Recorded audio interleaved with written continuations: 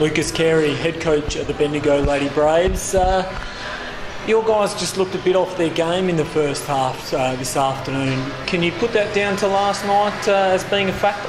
No, not at all. Um, I think our defensive effort in the first quarter was terrible. Um, you know, we hold a team with 64 points and we give up 30 in the first quarter.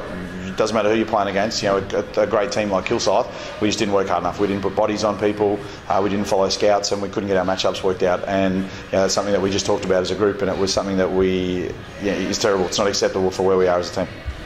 we're two months into the season, or just about. Um, is the team coming together in the way that you were hoping that it might have? I think so. Um, I think you know the team enjoys playing together. They play together well on the floor. Um, obviously, you know we've, we've had a roster change this week, um, which is which has helped the group, um, which has put the group in a really good position you know, to come together. Um, and, and we think that we may look at filling a last spot. We've obviously got a restricted spot that we can still look at filling, so that we're in a position where we might do that, but we're not sure. But what we have at the moment are a group of girls that work pretty hard. Um, double headers are always tough, but it's not an excuse.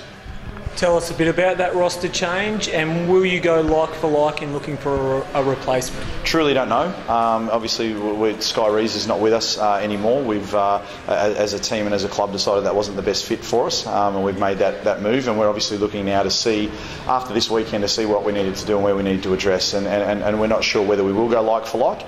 Um, at this time of year, there's a lot of quality players that are always locked up with everyone else, so we're not sure what to do yet tough run coming up as well, mate. I think you've got Knox, Kilsyth again, and Geelong as well. Uh, you can't afford too long to uh, before you get it together, I guess. Oh, absolutely. And you know, I mean, with the, the, way the conference stuff is set up now, and amongst talking to all the coaches each week, it's that there's no one, you know, besides Knox, there's no one playing their best basketball right now. Um, you know, we need to make sure we keep chipping away and winning games, you know, and, and making sure we get better each each each rollout. And there's definitely some stuff we do take out of tonight. You know, as I said, give up 30 in the first quarter and then hold everyone else for 30 for the other three quarters is a positive. But you can't play three quarters against a quality team in this league.